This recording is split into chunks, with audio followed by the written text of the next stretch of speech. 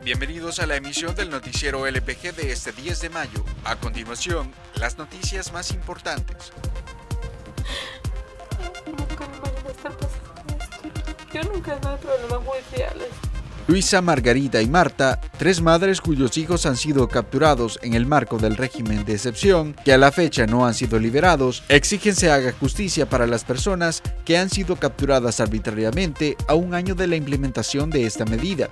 Nunca nos imaginamos nosotros que una persona trabajadora la fue alcanzada por el régimen de excepción, porque como decían, es para pandilleros, es para delincuentes, gente que le debe a, la justicia. Pero mi hija, ¿qué le debe? El hecho de ser pobre. Las dificultades que día a día viven estas mujeres son el reflejo de lo que muchas madres con hijos capturados arbitrariamente han tenido que experimentar, dejando en ellas secuelas no solo emocionales y físicas, sino también económicas. Gasto cada, cada 22 días son 30, 30 dólares, 35. En cuanto en unos paquetes le meto algunas cosas, el siguiente vez que voy, este, espero en Dios que todavía tenga un poquito y no le meto algo. Y voy así a mi hija sí le fui a dejar paquete panteos y el viernes gasté 75 dólares en el paquete de ella. El Ministerio de Salud reportó en su último boletín epidemiológico un aumento de hasta un 52% en los egresos por neumonía en las primeras 17 semanas de este año. Del 23 al 29 de abril, los egresos hospitalarios por neumonía sumaron 3.469 casos, cuando en 2022 el MinSal reportó 2.285. La mayoría de estos casos se registran en niños menores de 5 años, seguido de las personas mayores de 60.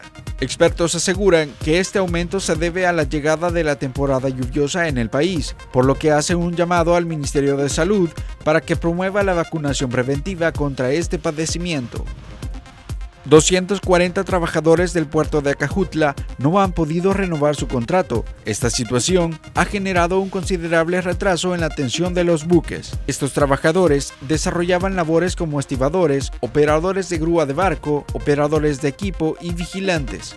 La falta de personal podría derivarse en una sobrecarga laboral en el personal permanente, lo que podría representar un peligro para la salud y la seguridad de los trabajadores. Una sequía podría afectar la zona oriental de El Salvador entre los meses de julio y agosto. A esto se le suma la canícula que habitualmente ocurre en este periodo. Así lo informó ayer el Ministerio de Medio Ambiente y Recursos Naturales. Hasta el momento no se ha determinado qué municipios se verían afectados por la falta de lluvias. Sin embargo, en su reciente informe, Perspectiva Nacional del Clima Mayo-Agosto 2023, el ministerio plantea entre el 60 y el 80% de probabilidad de que ocurran periodos sin lluvias en el suroriente, zona paracentral y zona de valles entre julio y agosto.